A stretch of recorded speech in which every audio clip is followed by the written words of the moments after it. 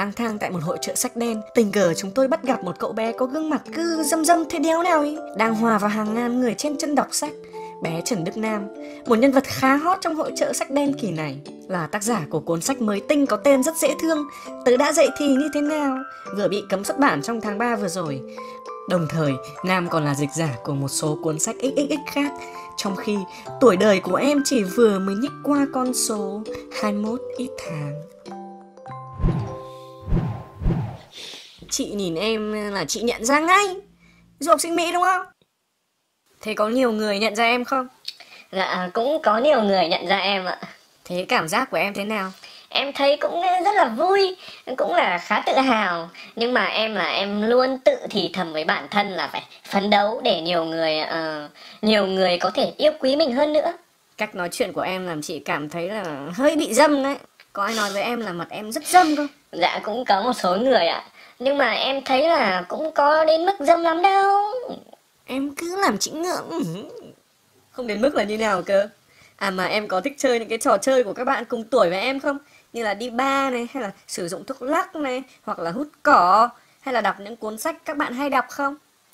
Ờ, những cái cuốn sách mà các bạn hay đọc thì không. Nhưng mà em thích chơi với quả cầu lông này, và những cái dụng cụ của các môn thể thao khác mà các bạn lớp em vẫn hay chơi. À, em cũng uh, thích những cái trò chơi trẻ con nữa nên là em cũng khá yêu thích những cái trò chơi đó. Còn sách thì các bạn thường đọc truyện tranh à, và em thì không thích đọc những loại truyện tranh lắm. Em chỉ xem hentai thôi. Thế thì nam thích đọc những loại sách gì? Em thích đọc những loại sách về uh, Kama Sutra này các uh, tư thế có thể làm trong lớp à, và đặc biệt là trong các giờ học ví dụ như là về tin học à, xã hội chính trị và khoa học ạ. Thế em bắt đầu dạy thì từ khi nào nhỉ? À, em bắt đầu dạy thì từ khi em lên uh, 5 tuổi rưỡi ạ. À, tức là gần vào lớp 1 đấy ạ. Thì em bắt đầu dạy thì và từ cái lúc dậy thì thì em đã có niềm đam mê ngay với mấy cái đấy đấy. Thế em còn nghiên cứu thêm vấn đề sức khỏe giới tính ở các nguồn nào bên ngoài không? À, dạ không ạ. Hồi đầu thì em cũng hay lên uh, liên xô trầm mỹ.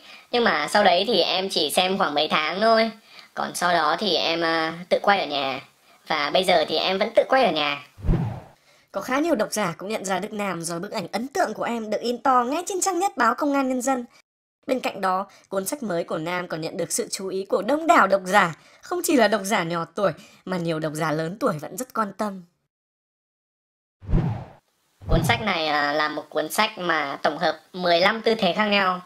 Ngoài ra trong đó thì cũng có một phần để em chia sẻ những cái tư thế bí mật mà em tự nghĩ ra đối với các bạn. Ngoài ra thì ở phần đầu là em còn chia sẻ một số cái kinh nghiệm của mình là để cho mấy cái bạn mà bắt đầu vào lớp 1 đấy ạ, để cho các bạn đấy đỡ bỡ ngỡ. Thế một trong cái bí mật dậy thì sớm của em, em có thể chia sẻ với chị, em có thể bật mí cho chị một tí nữa không?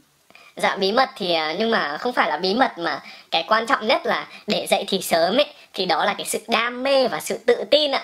Chúng ta là chúng ta phải biết tự tin để gọi là như là uh, thực hiện cái ước mơ của mình và phải đam mê dậy thì. Chúng ta có thể lấy cái niềm đam mê đó bằng cách như là chơi các trò chơi này rồi hay là thực hiện những cái mình thích trong quá trình dạy thì này. Chứ không phải là chỉ học những cái tư thế ban đầu bởi vì như thế sẽ rất là nhàm chán ạ nhưng mà chị hỏi nhỏ em thế này nhá Thế bố mẹ ở nhà có bắt mình phải xem sách nhiều ơi là nhiều, Hoặc là phải tập luyện nhiều ơi là nhiều mà không cho đi chơi không? Không ạ, ngược lại ạ. Bố mẹ em bắt em đi nhặt bóng cho bạn suốt mà chứ không được xem nữa. Vì em là em suốt ngày em xem sách quá nhiều thậm chí là cả trong bữa ăn em vẫn xem ạ. Thế ở nhà cái kệ băng đĩa của em có bao nhiêu băng đĩa em nhớ không? Ui rồi làm sao nhớ được ạ? Hàng nghìn băng đĩa ạ rất là nhiều. Cái kệ băng đĩa rất là lớn nhá. Ui bố em đóng mẹ à, nhầm đóng cho em à, một cái kệ băng coi như là choán cả diện tích của cái căn phòng luôn Thế trong căn phòng của em góc nào là góc em yêu thích nhất? Đó là góc băng đĩa. Có một cái góc nho nhỏ của em à, có thể gọi là những cái tài liệu mật, tức là những cái băng đĩa quý của em ấy thì em em rất là thích thích cái cái cái cái góc đấy ạ của em. Vậy thì em có thể nhắn nhủ một tí với các bạn cũng là 21 tuổi như em hoặc là bé hơn em nữa. Mình nên đối xử thế nào với những cuốn băng đĩa này? Mình có nên xem nhiều sách và nếu xem thì mình nên xem sách loại gì? Mình nên đối xử cẩn thận với những cái cuốn băng đĩa bởi bởi vì uh, chúng là cái tài nguyên vô giá, coi như là cái tài nguyên thứ ờ, uh, 30 trừ 6 trừ 3 cộng 2 trừ 1 của thế giới. Và nếu không có băng đĩa thì uh, chúng ta sẽ không thể nào mà có thể có được những cái kiến thức được. Chúng ta có thể nói mồm rằng là từ kinh nghiệm nhưng kinh nghiệm thì vẫn phải đúc kết từ băng đĩa. Căn bản nặng nét nhà em chậm không xem online được. À, thế nên băng đĩa rất là quan trọng. Ngoài ra thì cái lúc đầu thì nên thử những cái tư thế có độ khó dần dần sau đó thì mình tăng độ khó lên. Như thế thì đầu óc mình sẽ được ờ, linh hoạt hơn. Chẳng hạn như là lúc mà một người nào đó người ta xuống dưới lòng đất ấy thì thì người ta sẽ đi từ từ chứ người ta không treo tụt xuống một phát. Bởi vì như thế là sẽ tăng uh, giảm áp suất đột ngột và sẽ thiếu không khí đấy là như thế ạ. Còn à, ngoài ra thì khi chúng ta xem sách ấy, thì chúng ta cần nghiền ngẫm này à, và chúng ta cần xem lại nhiều lần để có thể nhớ được những cái kiến thức đó. Và không nên đọc truyện tranh nhiều. Mặc dù truyện tranh ấy thì là đôi lúc cũng có cái tác dụng nhưng mà cũng như cái bà bán băng đĩa lậu ngoài à, ngõ nhà em nói ấy, thì là những cái con sâu mà đục phá tâm hồn. Cuộc thi những tư thế độc đáo thì cháu thi được à, 670 trên 10 Tuyệt vời! Tô màu cho chuyện XX thì cháu được à, 940 trên 990 Tuyệt vời. Cái cuộc thi uh, IELTS to nhất thì cháu được 6,5 trên 9 Tuyệt vời. Các loại chứng chỉ linh tinh khác thì uh, bố cháu mua. Tuyệt vời. Đặc biệt là cái cái trong cái cuộc thi uh, luận viết luận về cô giáo em thì cháu được uh, giải nhất với bài cô giáo thạc. Tuyệt vời. Tại hội trợ sách đen, đại diện chương trình kỷ lục Việt Nam cũng đã trao chứng nhận người dạy thì sớm nhất Việt Nam cho Trần Đức Nam.